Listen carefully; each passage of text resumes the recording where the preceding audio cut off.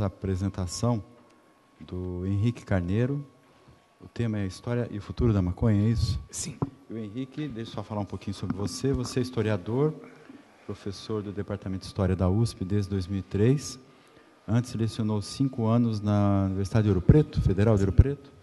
Tem seis livros como autor e mais dois como coautor sobre temas de história da alimentação, das drogas e das bebidas. Então, por favor, professor. Muito obrigado. Pediria para o senhor me avisar quando faltar cinco minutos. Ah, sim, tá. Bom, bom dia a todos e todas. Eu queria agradecer, antes de tudo, a oportunidade de voltar aqui para a Unicamp, num novo evento que vem, enfim, aprofundar a reflexão crítica sobre essa temática. E depois dessa excelente exposição que a Tamires fez, eu queria também, como historiador, é, inserir, assim como ela, o tema da maconha num contexto mais amplo, é, que é o contexto da proibição em geral. É, o, o que, que são substâncias proibidas? Da onde vem a fundamentação histórica, política e, particularmente, ético-filosófica em relação à ideia de que alguma coisa deva ser proibida? Alguma coisa que diz respeito à ingestão. A gente está falando de uma esfera que é talvez a esfera mais resguardada da nossa intimidade, da nossa privacidade, que é a esfera do interior do nosso corpo. Então, quando a gente está falando da questão da proibição, a gente está tocando num tema que é talvez uma das grandes reformas sociais que a gente tem hoje nesse início do século XXI e que provavelmente daqui a alguns algumas décadas, eu espero, ou talvez daqui a alguns séculos, isso vai parecer uma coisa tão estranha como era no passado outras dimensões da proibição, como, por exemplo, se proibir livros, se proibir religiões, se proibir comida, tipos de alimentos que eram considerados tabu e proibidos até legalmente, e como ainda existe em alguns países do mundo. Então, o que está em questão é, acima de tudo, a discussão da natureza da proibição. É, e, nesse sentido, eu acho que a proibição se constitui num dispositivo totalitário que envolve a noção do despotismo biopolítico. Ou seja, a ideia de que nós não temos autonomia sobre o nosso próprio corpo. Então, aquilo que se considerou no alvorecer da época moderna como um dos fundamentos da própria modernidade, que era a ideia da liberdade, em particular a ideia da liberdade de consciência, está hoje sendo violada. Porque a liberdade de consciência não é apenas a liberdade de opinião, de crença, mas é, acima de tudo, a liberdade em relação ao próprio corpo, em relação à programação da própria subjetividade em relação àquilo que a gente poderia chamar de a plasticidade psíquica. E, em última instância, aquilo que se chama em filosofia de o si próprio, tem até um conceito que é ipseidade, aquilo que é o domínio de si mesmo, é algo que hoje está sendo violado. Nós não estamos podendo exercer o nosso direito de sermos os demiurgos de nós mesmos, quer dizer, os que constroem a si próprio como uma personalidade, como um temperamento, como um, uma capacidade cognitiva, afetiva, etc. Esse tema, ele é um tema clássico, que vem inclusive no, na origem da filosofia ocidental, nos debates que ocorrem em Platão, por exemplo, no livro das leis, em que vai se discutir que a gestão daquilo que se ingere é o treinamento mais fundamental que existe da vontade. É uma espécie de educação volitiva que ocorre com todos os indivíduos desde a mais tenra eh, infância, em que aprender a controlar os seus apetites, aprender a não comer em excesso, a não beber em excesso, é uma regra fundamental da constituição da personalidade. E nesse processo existem três é, polos que são os grandes referenciais, que são o polo da abstinência, que é a recusa de uma determinada ingestão, o polo do excesso, que é o oposto, e como elemento intermediário, o polo da moderação. A primeira conclusão que o Platão tira, não só no livro das leis, mas em várias outras obras e em uma série de outros filósofos, é que a abstinência é um excesso. A abstinência não se opõe ao excesso, ela é um excesso. Porque a moderação tem que ser também moderada. Se houver moderação em excesso, ela deixa de ser moderada e ela passa a ser abstinência. Essa atitude abstinentista é o que governou esse mecanismo da chamada proibição, que selecionou por uma série de razões históricas algumas plantas e algumas drogas, mas que na sua origem incluía todas elas, todas, sem exceção. Esse movimento, ele tem como paralelo aquilo que foi chamado por um presidente norte-americano, Calvin Coolidge, como o maior experimento social da época moderna. Esse experimento foi a chamada proibição do álcool nos Estados Unidos. Eu queria fazer um paralelo da proibição do álcool com a proibição da maconha para a gente ter um pouco a noção de como essas coisas se encaixam e de como a gente, de certa forma, desconhece o que foi a proibição.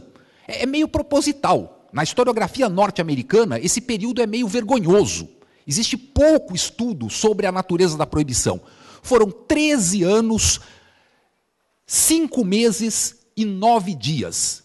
Treze anos, cinco meses e nove dias em que estava proibido a fabricação, o transporte e a venda de qualquer bebida alcoólica. Não se proibiu o uso. Interessante que difere um pouco, inclusive, em relação às outras drogas.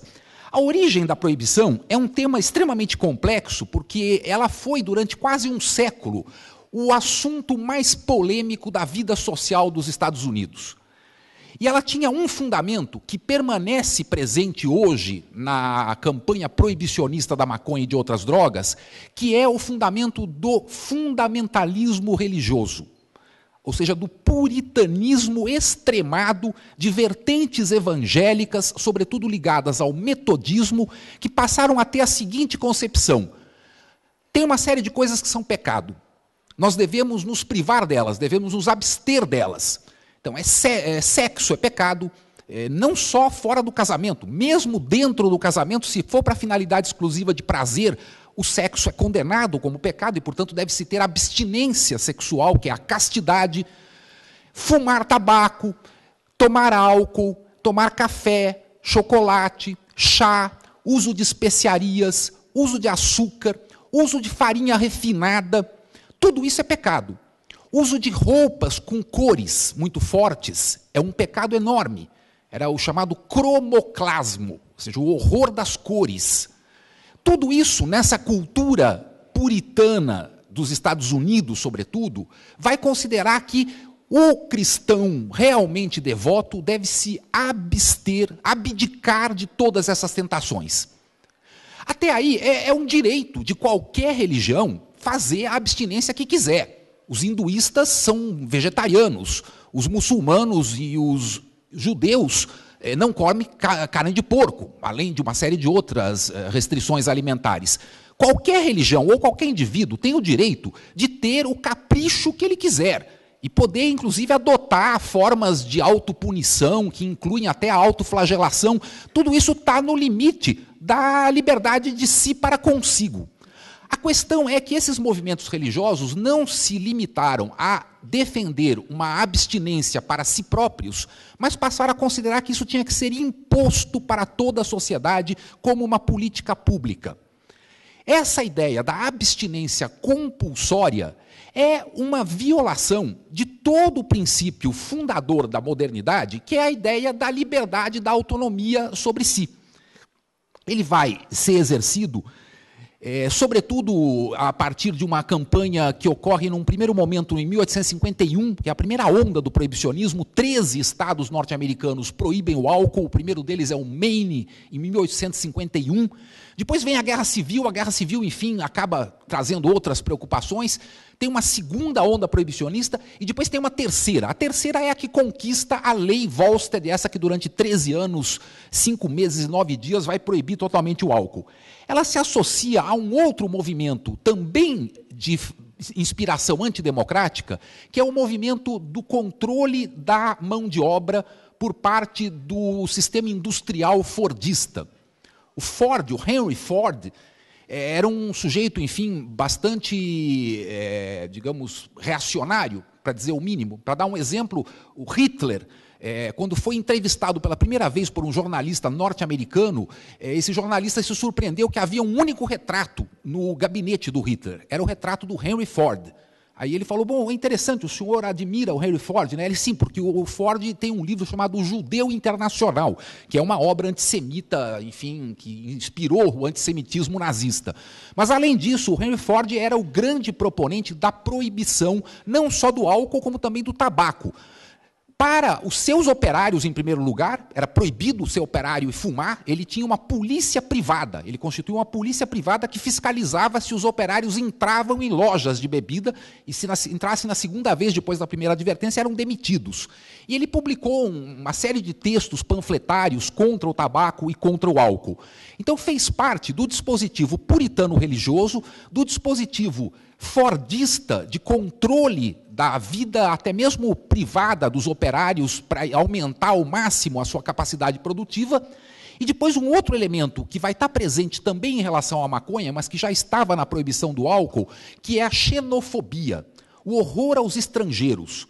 Nos Estados Unidos, a lei seca é a reação rural da camada WASP, né, branca, anglo-saxã e protestante, contra os novos imigrantes, que vinham em massa no final do século XIX, início do XX, e eram basicamente alemães, italianos, irlandeses e judeus, que são quatro grupos nacionais, étnico-nacionais, é, muito ligados à cultura alcoólica.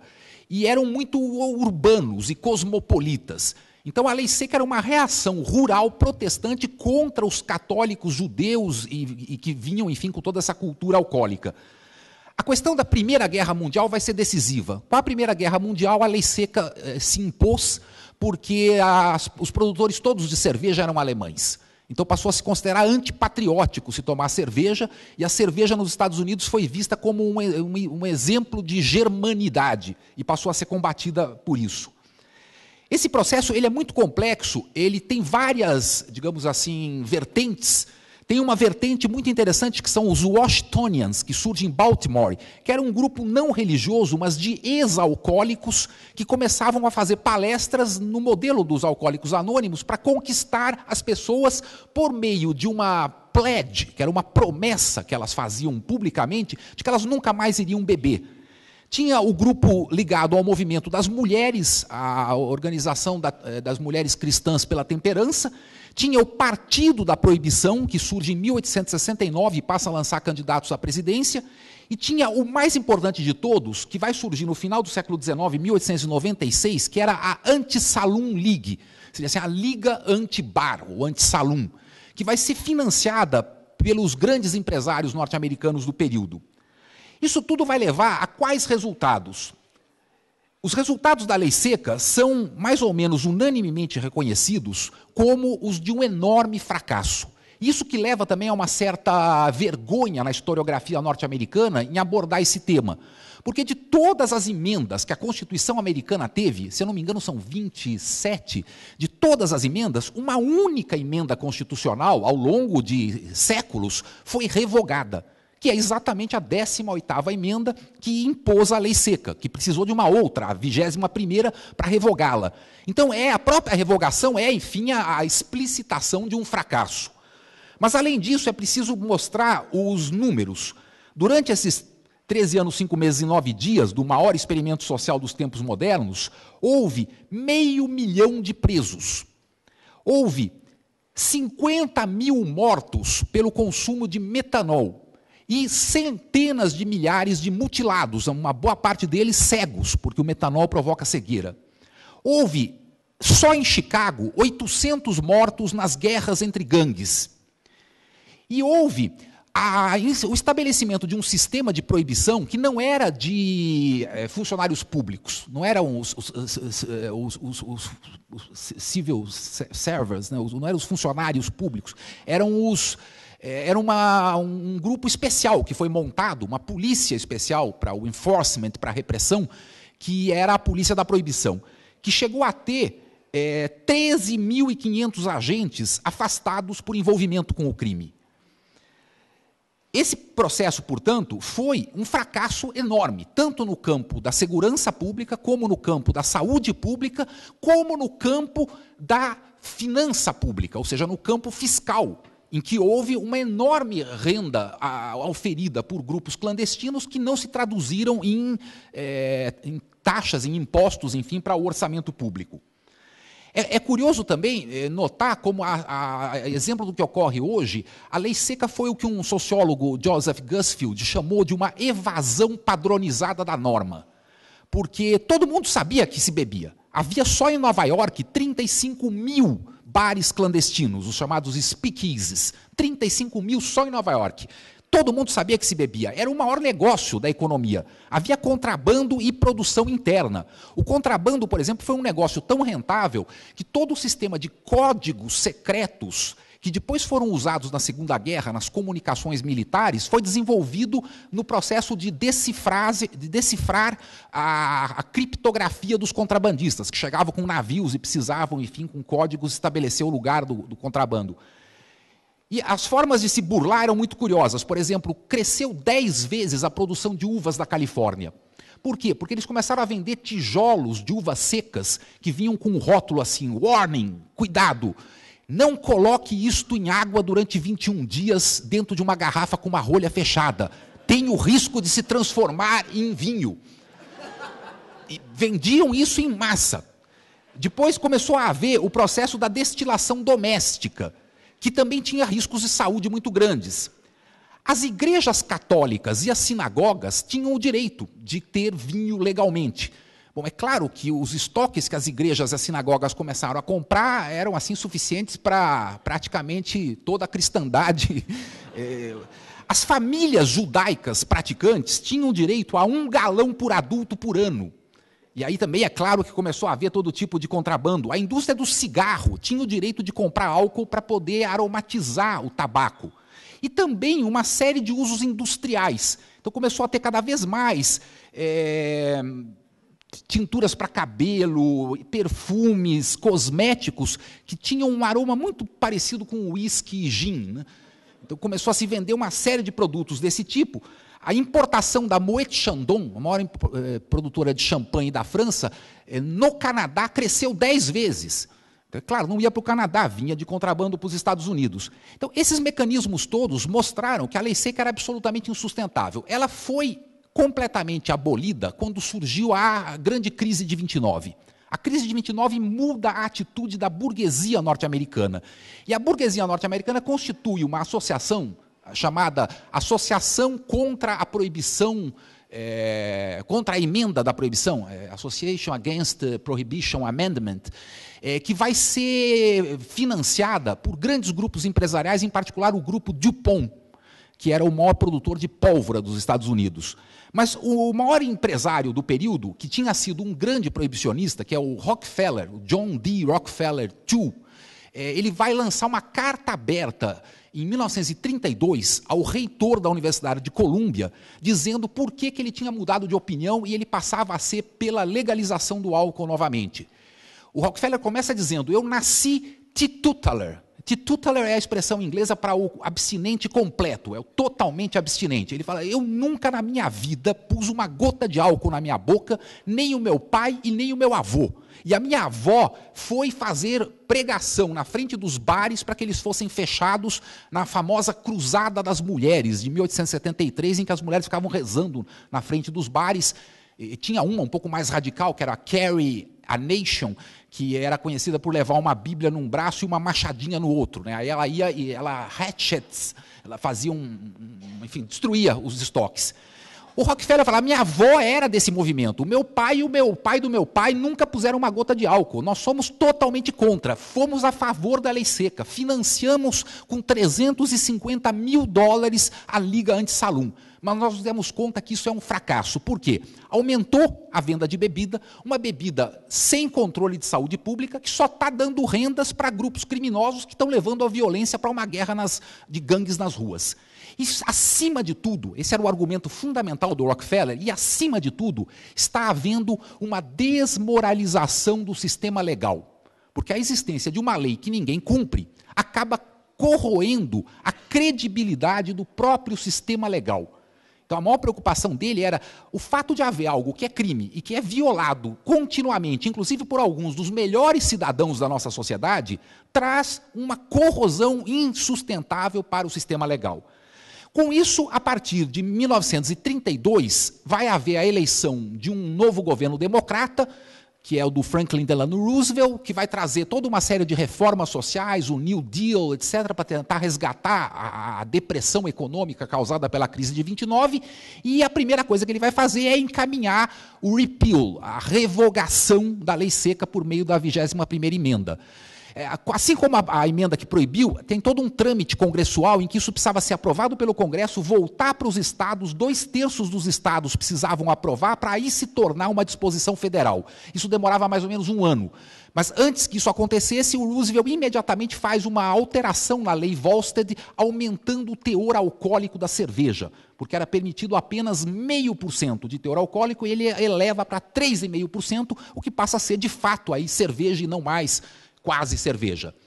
O que, que aconteceu no dia 5 de dezembro de 1933, quando acabou a lei seca? Nada. Aconteceu nada. Isso é que é o mais espantoso. Bom, o que vai acontecer quando acabar a lei seca? Nós vamos sair para a rua e vai ter dezenas de bêbados caídos em todas as esquinas, vai ter, enfim, pessoas malucas, alcoolizadas saindo. Não aconteceu nada. A lei seca não alterou em nada uma situação que já era de consumo alcoólico, que era considerado proibido, mas se fazia em 35 mil bares clandestinos, e ninguém foi beber em massa ou se embriagar porque a lei tinha sido alterada. Então, a gente precisa ter claro que o que está em curso hoje no Brasil e no mundo é um processo histórico muito semelhante ao do final da lei seca. A gente está agora vendo como sair da guerra, como sair da proibição, como fazer o processo de transição. É irrevogável, inexorável. Nos Estados Unidos, metade dos estados já legalizou. Cinco estados já têm plena legalizou medicinalmente em metade. Em cinco, plena utilização para todas as finalidades. É uma commodity, é uma commodity de um valor econômico, que é o maior valor econômico da agroindústria do Canadá e da Califórnia. Então, é inexorável, do ponto de vista econômico, que isso se torne uma commodity global. Qual vai ser o mecanismo de gestão dessa ingestão? Como vai ser a regulação? Nos Estados Unidos, quando acabou a lei seca, as máfias se tornaram as donas do grande negócio de álcool. Então, o que aconteceu? A Seagrams vem da família Bronfman que é uma palavra que já significa comerciante clandestino de uísque, parece que desde o Yiddish. Obrigado. O Luke Luciano, que era grande, eh, um dos grandes é, é, traficantes de, de, álcool, né, um dos grandes bootleggers, como eles chamavam, é, ou moonshiners, né, que eram os produtores e traficantes de álcool clandestino, vai se tornar proprietário de uma enorme empresa de álcool. E o álcool vai se tornar uma enorme multinacional planetária que é hoje a maior empresa do nosso país. A nossa economia é uma economia governada como um, uma locomotiva, com um carro-chefe industrial, que é a produção de cerveja. A Ambev é a maior empresa no Brasil, incluindo todas as estatais. Dá pelo menos duas Petrobras. Agora que a Petrobras desvalorizou um pouco, deve dar mais ainda. Então, a Ambev é hoje a principal empresa do Brasil. O modelo que a gente deve discutir para a legalização da maconha não deve ser apenas para a maconha. A gente deve rediscutir o modelo de regulação do álcool no Brasil. Porque é inaceitável que uma empresa lucre tanto e tenha tão pouco retorno para o interesse social. O tabaco, por exemplo, tem 80% do valor de mercado ao varejo, de venda do maço de cigarro, é, na forma de imposto tanto o IPI como outros impostos que incidem sobre o tabaco. Os 20% que sobram para a Souza Cruz, que é uma multinacional britânica, é suficiente para uma lucratividade enorme ainda. Então, qual deveria ser o modelo adequado, não só para a maconha, como para todas as drogas, inclusive os da indústria farmacêutica? Eu acho que esse tema envolve um debate que diz respeito não só à legislação internacional, porque vai haver agora no ano que vem um debate no âmbito das Nações Unidas, na sessão especial que está sendo convocada para esse fim, como também deve ser um debate em relação aos processos de controle social dos mercados e, em particular, mercados que têm um potencial de risco muito grande. Então, se há um potencial de risco no uso de drogas, em particular no álcool, por exemplo, que leva a uma elevação das taxas de acidentes de, de carro ou, ou, de uma série de outros eh, fenômenos sociais, deve haver um mecanismo de você usar a renda desse negócio para suprir às necessidades sociais de recuperação de dependentes, de gestão dos efeitos colaterais do uso de drogas perigosas, como, por exemplo, acidentes de trânsito, etc. Então, eu acho que a gente deve pensar num modelo que tenha como princípio, eu não tenho uma receita, isso é um tema para ser discutido com, enfim, toda a sociedade, especialistas, sobretudo no campo econômico, eh, no campo, enfim, de gestão eh, pública, etc. Mas eu acho que deveria existir um modelo de um fundo público um fundo público no qual a renda desse negócio seja transformado em investimento social. É, grandes é, ramos das, da economia global têm fundos públicos associados a ela. Por exemplo, um dos mais conhecidos é o Fundo Petroleiro da Noruega. Mesmo o tabaco já teve empresas estatais, como a Seitá na França, ou a tabacaleira na Espanha, que eram estatais que faziam com que toda a renda do tabaco fosse revertida, de alguma forma, pelo menos em, em tese, para a sociedade. Então, eu acho que a gente deve evitar o risco da monopolização de um mercado que é extremamente forte, poderoso e lucrativo e que tem a perspectiva de se tornar uma das maiores commodities globais, como já é a proposta, por exemplo, do grupo ligado a um ex-executivo da Microsoft, o Jamin Shively, em Seattle, que quer constituir uma marca global de maconha porque ele diz que é o único produto de consumo que ainda não tem uma marca associada. E aí ele quer associar essa marca para virar a Coca-Cola da maconha, ou a, Malboro da maconha. É, eu acho que isso é algo que a gente deve evitar, a gente deve buscar, inclusive para convencer a sociedade da necessidade da legalização, de uma proposta que não seja simplesmente a transformação do, digamos, da família Perrella em negociantes de cocaína legais ou que seja. Acho que a gente tem que contemplar também um outro debate, que é como que o âmbito varejista, sobretudo nas populações carentes, ou seja, os vapores das favelas, que são os, as grandes vítimas do, do, do sistema proibicionista, como que esses setores podem ser compensados em havendo uma legalização. Por exemplo, se permitiria que se cultivasse na favela maconhas de excelência em estufas para que eu continuasse a haver uma lojinha no morro que abastecesse, enfim, Copacabana?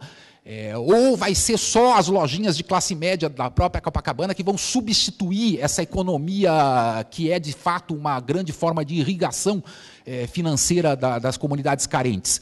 Então, acho que esse tema é hoje um dos temas centrais. A gente vai ter a apresentação de um colega uruguaio, né, o Pablo, que vai falar sobre o modelo uruguaio, que é um dos grandes modelos inspiradores dessas transformações. A gente tem o modelo norte-americano já vigente no Colorado e em Washington, em alguns outros estados. E eu acho que a gente tem que pensar agora é no significado mais histórico da luta contra a proibição, como sendo uma espécie de superação de uma pré-história da humanidade uma pré-história, digamos assim, da liberdade. Quando a gente chegar num mundo efetivamente emancipado em relação a todos os direitos civis, em relação a todas as liberdades individuais do futuro, a gente vai olhar para o passado e vai dizer: nossa, havia uma época em que era proibido ser homossexual.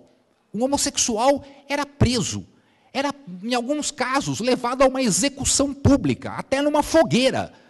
E não faz tanto tempo assim, né? alguns séculos. No gâmbito da psiquiatria, algumas décadas em que deixou de ser no, na lista de, de, doenças, na lista de patologias, é, enfim, da, da saúde mental, a inclusão de uma orientação sexual.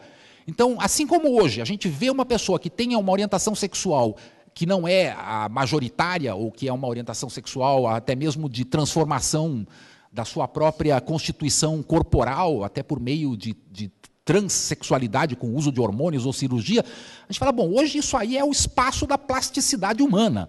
Se a pessoa tem um desejo, um anseio em ser alguma coisa que ela quer ser e que diz respeito exclusivamente à sua própria identidade, à sua condição humana, é o direito dela levar, enfim, o seu destino até as últimas consequências naquilo que diz respeito a si própria. O campo das drogas continua sendo um campo excluído dessa esfera do direito de escolha. E, inclusive, em relação, e eu vou concluir com essa ideia, em relação ao aspecto do uso medicinal. Porque o uso medicinal não é apenas o uso crônico daqueles pacientes que têm epilepsia, etc. É um uso corriqueiro em relação aos achaques do dia a dia Quer dizer, a gente tem uma condição de vida extremamente estressante, com ansiedade, com angústia, com tédio, e o uso de drogas sempre foi, do ponto de vista histórico-antropológico, um arsenal da humanidade para poder combater essas condições, enfim, de tédio, ansiedade, angústia. E nesse terreno, nada melhor do que a automedicação. Há uma dimensão da automedicação que faz parte da liberdade humana. Por isso que, enfim, é, curar e cuidar são coisas muito assemelhadas, até etimologicamente.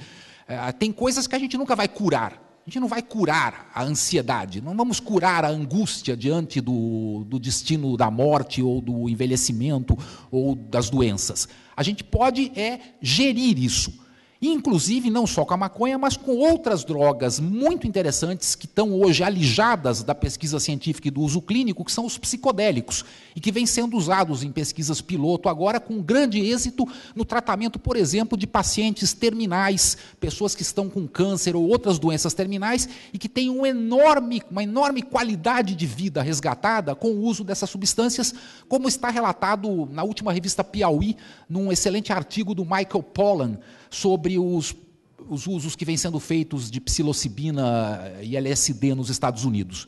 Então eu concluo parabenizando mais uma vez a todos os organizadores, ao Leipzig, ao Toffoli em particular, por trazer para um âmbito interdisciplinar e até mesmo indisciplinar em alguma medida, como falou o pró-reitor no início, que é hoje um campo de debate não apenas do ponto de vista cognitivo, do ponto de vista político, mas também do ponto de vista ético-filosófico, em que a gente precisa reafirmar sempre que a proibição é uma forma absolutamente ilegítima de se gerir a condição humana de ser, digamos assim, em última instância, responsável sobre si mesmo.